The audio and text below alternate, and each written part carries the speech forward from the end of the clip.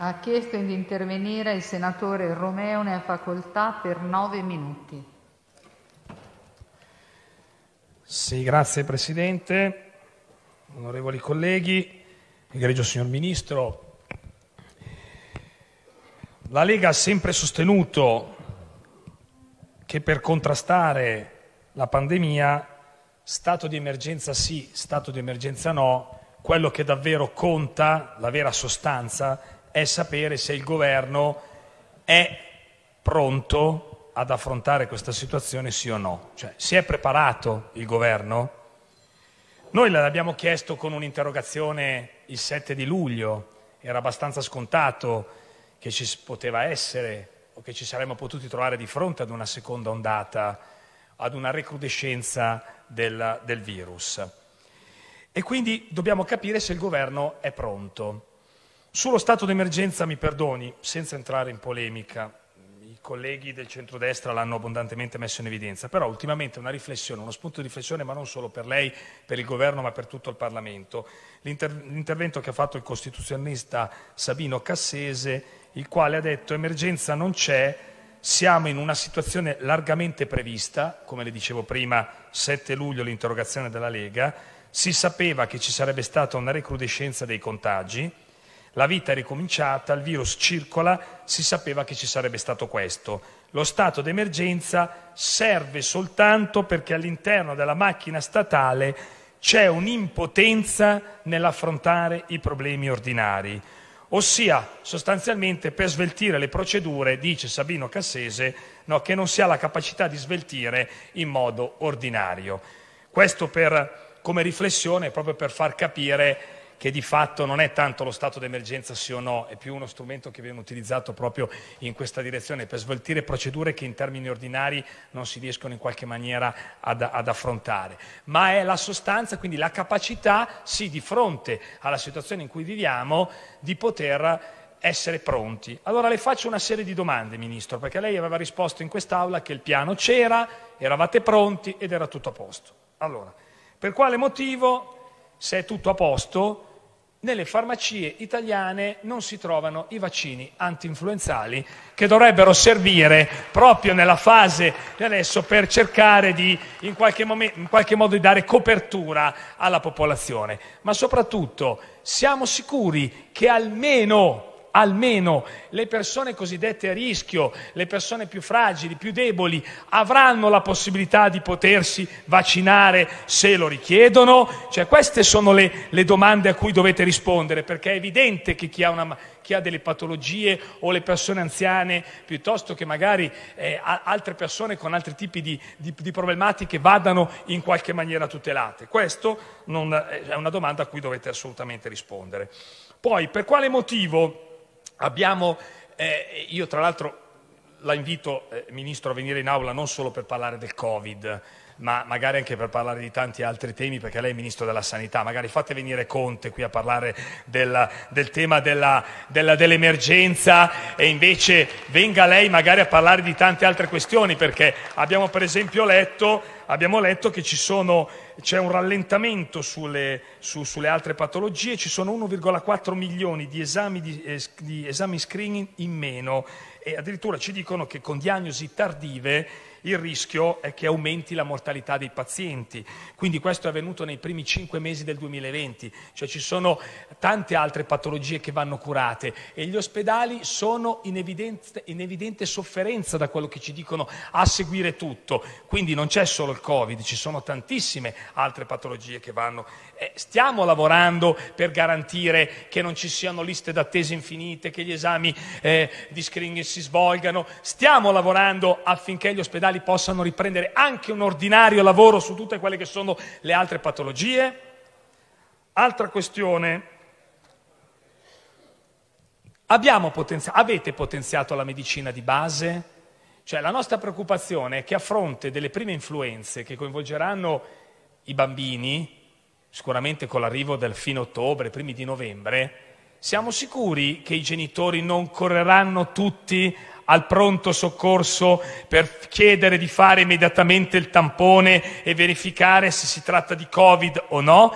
Ci abbiamo questo sistema di medicina territoriale di cui si è tanto parlato che è stato potenziato, i medici di base sono pronti ad affrontare, andare a visitare, andare a visitare i bambini direttamente nelle case, nelle famiglie. Abbiamo, questo tipo, abbiamo sviluppato questo tipo di modalità, abbiamo fatto scorte, scorte, quindi che ci sono i magazzini pieni, per esempio, so, dei farmaci, dei tamponi, dei reagenti. Eh, posso anche dei test rapidi, per esempio, che adesso eh, dovrebbero aiutare in qualche modo a velocizzare l'attività di, di monitoraggio, delle mascherine, dei gel igienizzanti, naturalmente che abbiano la preventiva autorizzazione, naturalmente sanitaria, non come quelli che erano stati ordinati dal Presidente, dal Presidente del Consiglio. Perché ci sono stati dei ritardi, per esempio, nei bandi annuali, nei bandi, scusa, per l'allestimento delle terapie intensive? ci risulta che ci siano ritardi che vanno in questa direzione.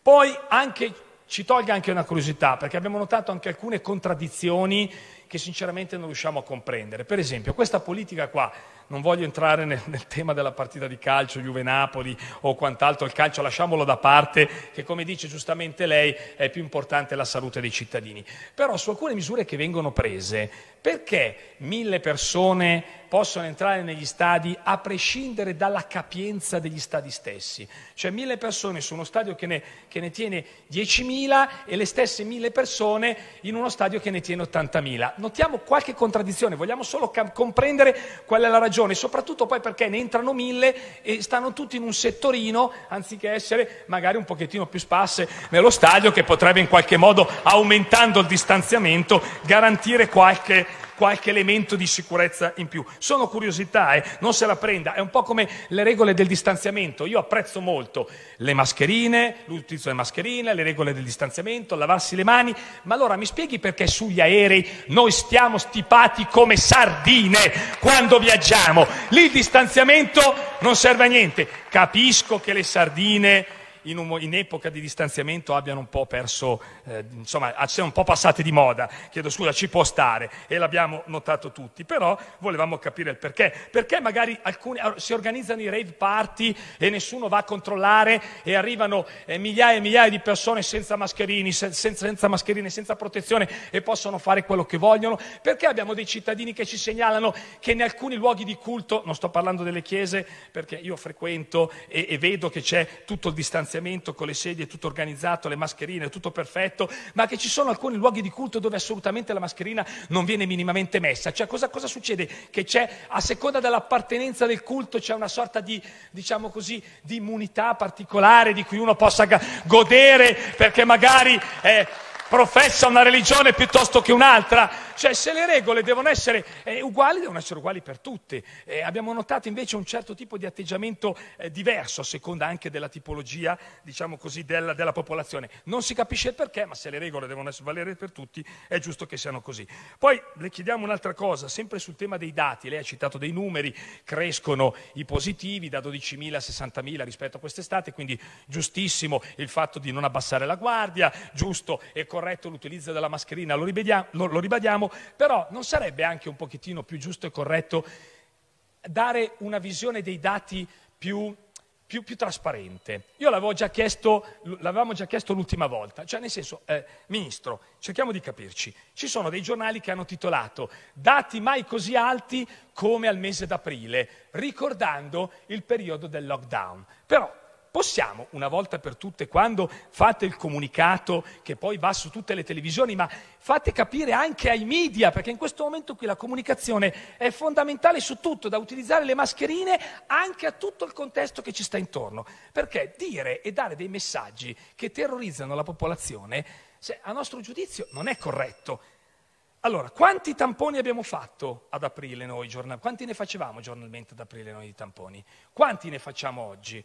Qual è la percentuale di positivi che trovavamo su un certo numero di tamponi fatti ad aprile e quant'è la percentuale di positivi sui tamponi fatti in, questa, in questi giorni? Questo potrebbe essere una cosa. La questione poi del rapporto asintomatici-sintomatici. In tutte le trasmissioni sento uno dice che è il 45%, uno dice che è il 70%, uno che dice che è l'80%. Possibile che non ci sia un dato scientifico che ci dica sulla base dei tamponi che vengono eseguiti quanti sono esattamente gli asintomatici? Io non lo conosco questo dato, ma gli italiani hanno il diritto di conoscerlo.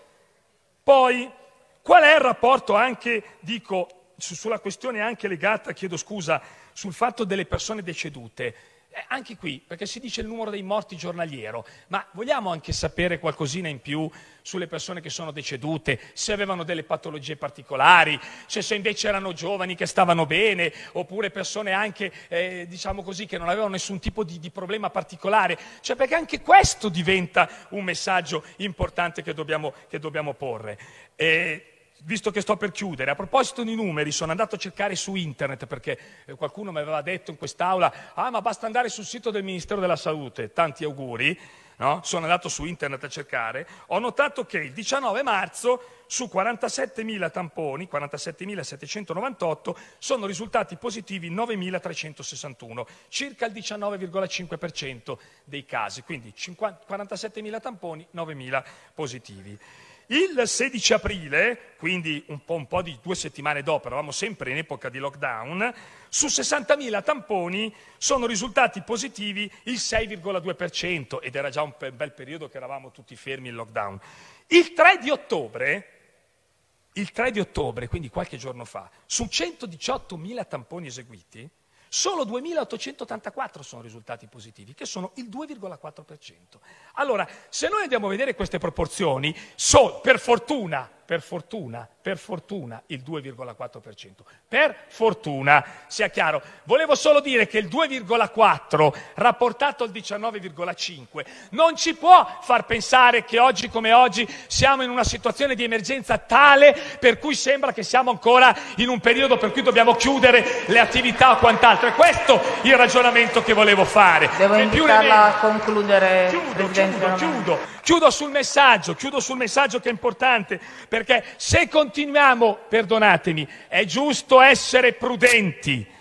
È giusto essere prudenti, ma è anche giusto avere buon senso, perché se continuiamo con questi messaggi che terrorizzano la popolazione, fra poco, quando cominceranno le prime influenze, la gente per paura starà a casa, non ci sarà un lockdown dichiarato, ma di fatto sarà così, tutti avranno paura, staranno a casa, quindi giusto prudenza, chiudo Presidente, il rischio zero intanto non esiste, diciamolo una volta per tutte alle persone, bisogna usare prudenza, mascherine, distanziamento, lavarsi le mani, proteggiamo gli anziani e le persone che hanno naturalmente particolari eh, patologie, ma diciamo anche che siamo anche in grado oggi magari di curare eh, le persone che eventualmente eh, si vogliono ammalare. C'è bisogno non solo di spaventare la gente, Ministro, è un consiglio, c'è bisogno anche di rassicurare la popolazione, perché l'elemento psicologico non è da poco in una situazione come questa. Grazie. Grazie.